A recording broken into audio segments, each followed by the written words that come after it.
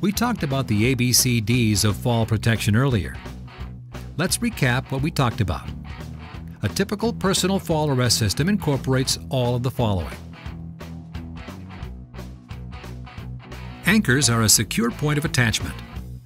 Anchorage connectors vary by industry, job, type of installation, and structure. But some examples include structural steel members and precast concrete or wood trusses. Inappropriate anchors include fluid pipes, handrails, or electrical conduits. Suitable anchors must be able to support extreme forces generated in a fall.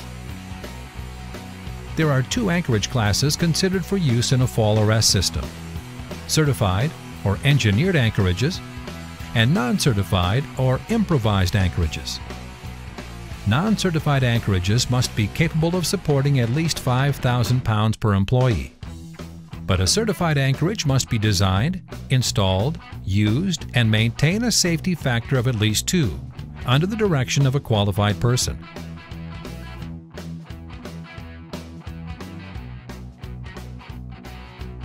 Body support. Harnesses distribute fall forces over the upper thighs, pelvis, chest, and shoulders. They provide a connection point on the worker for the personal fall arrest system. When donning the full body harness, it must be adjusted to fit you properly. It should be snug, but comfortable. The sub-pelvic strap should be positioned directly under the buttocks. This strap and its proper placement are crucial. It is the sub-pelvic strap that distributes much of the energy generated in a fall to the structural part of your body. The chest strap must be fastened securely, and the dorsal D-ring should rest between your shoulder blades. Once your full body harness is properly fitted, you'll get freedom of movement, comfort, and maximum protection in a fall. Connectors, such as shock-absorbing lanyards or self-retracting lifelines, connect the worker's harness to the anchorage.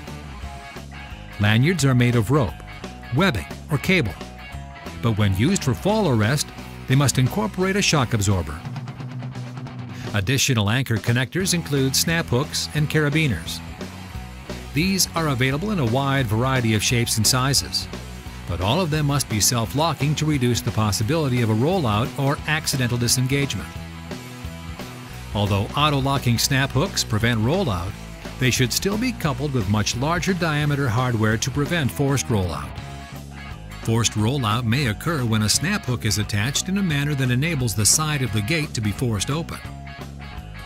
To be safe, you always want to check with the manufacturers to make sure the connections you make are compatible. All snap hooks chosen for fall protection or rescue operation should be simple to operate to ensure they will be used correctly. They should have user-friendly, one-handed operation even when wearing large gloves. Workers should always make sure they achieve positive connections between components of their personal fall arrest systems, especially when visual confirmation is not possible. For example, the attachment of a snap hook to a D-ring on the back of a harness. And as a general rule, all connecting components and assemblies must have a minimum strength of 5,000 pounds, even those used on shock-absorbing lanyards.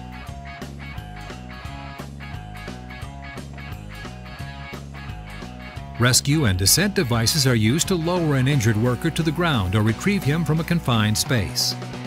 It is imperative to have a rescue plan in place at your job site in the event of an accident. And the plan must be reviewed and practiced on a regular basis. Calling 911 isn't enough. Your employees need to have the necessary tools, training, and skills to assist your staff or local rescue professionals. It's also important to remember that the rescue should be kept as simple and safe as possible, putting the fewest workers at risk. In the heat of the moment, potential rescuers might panic and overlook important aspects of their training. To prepare for the potential of a rescue, a thought process needs to be established that reminds every worker of the hierarchy of a rescue. Self rescue. Self rescue means climbing or pulling yourself to safety.